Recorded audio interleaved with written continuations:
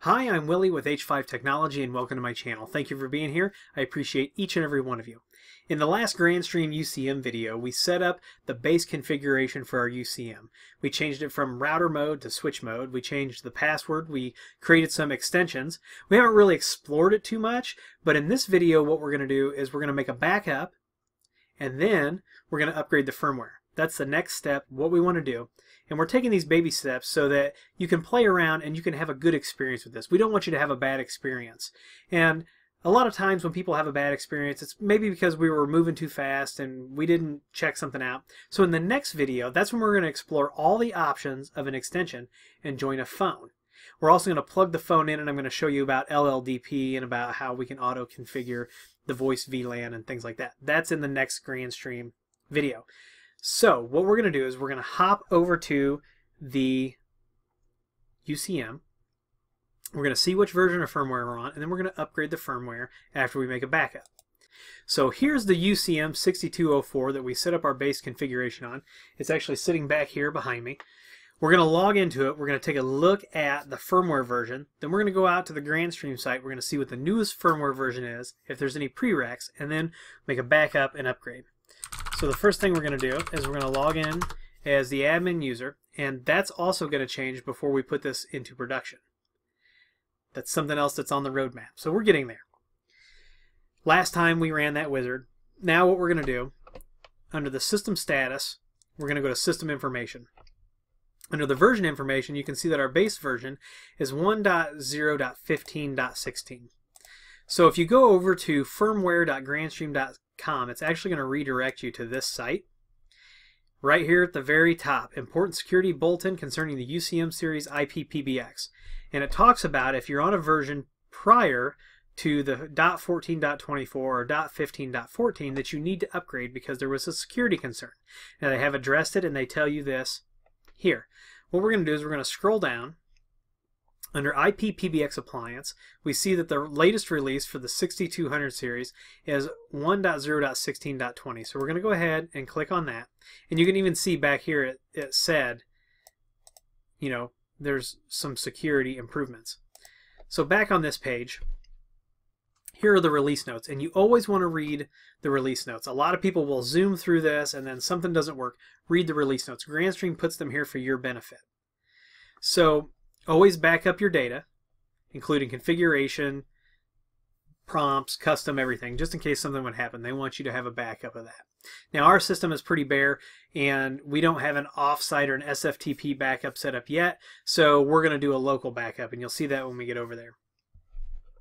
For UCM 6000 series on .15.x or .16.x, we can upgrade directly to 16.20. So since we're on the 15 release, we're going to be able to automatically upgrade directly to 16.20. Now, if we were on a firmware version before the 15 release, we would have to upgrade to the 15.16 first then to the 16.20. So there's an upgrade path that you have to do. So if your UCM came with 1.0.14.24 or below, first you have to upgrade to 15.16, then you can upgrade to 16.20. So we're going to go ahead and we're going to download this. It's going to take a second. It's about an 80 megabyte file. And that should be done anytime. So what we're going to do is we're going to hop back over to the UCM. We are going to now go down to the maintenance section. And under maintenance we have upgrade and we have backup. So we're going to click on backup. And if we do a regular backup file, this is where we can uh, set up an SFTP server and we can back up all the things. That's not what we're doing. Today we are going to do a regular backup because we don't have anything special besides our base configuration. So we're going to create a backup and it is a local backup and I'm going to call this um, lab U UCM 6204 and it is a local backup. Now if I try to select all of these things, you're going to see this fail because a local backup can only back up the config file. So if I select all and I click backup, I'm going to get an error. Here it is. I can only back up the config file. So I'm going to uncheck that. I'm going to click config file and I'm going to hit backup. It's going to process the backup, and then I'm going to uh, download the backup. So here it is. Excuse me. It's right here. It is 4 megabytes, and we can do a couple things. We can restore to this backup. Now it's stored locally. We can delete it, or we can download it. I'm going to download it and take it off of the machine.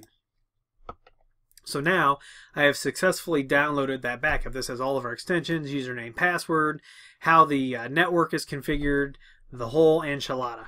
So once we start building this out, I'll show you how to set up an SFTP server and do these regular backups. So now we're going to go over to upgrade.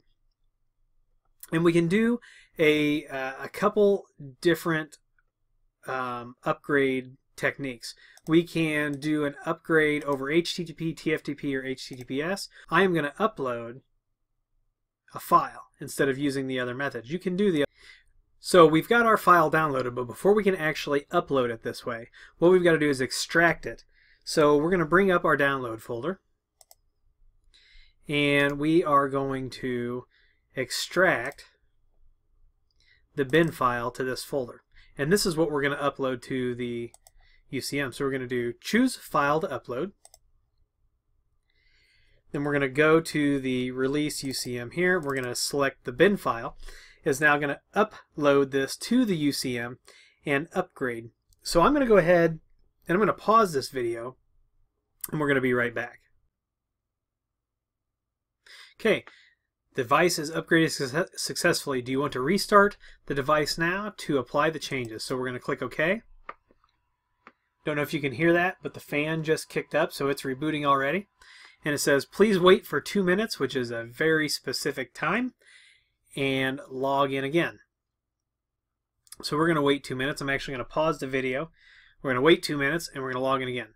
Be right back. So I waited exactly two minutes, and the device came right right up. I took all the stuff after the 8089 out, and we're going to be able to log into this now.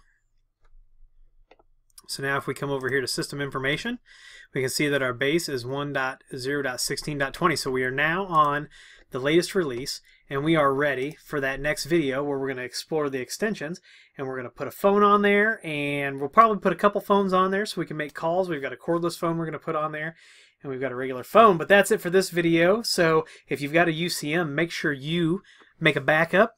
Make sure that you are on the latest security release, the latest firmware release. If you like this video, please give me a thumbs up. Please subscribe. Please comment, share. Please follow me on Twitter and Instagram. Uh, if you need consulting for voice over IP or networking, security, best practices, all that stuff, you can go to h5llc.com down there, fill out the contact form, and somebody will get in touch with you. We have a Discord channel. Charlie's our admin. You can the Discord link is down there. We also have an Amazon shop where we feature everything uh, that we show in the videos here. So once again, I want to thank you for being here, and we'll see you in the next video.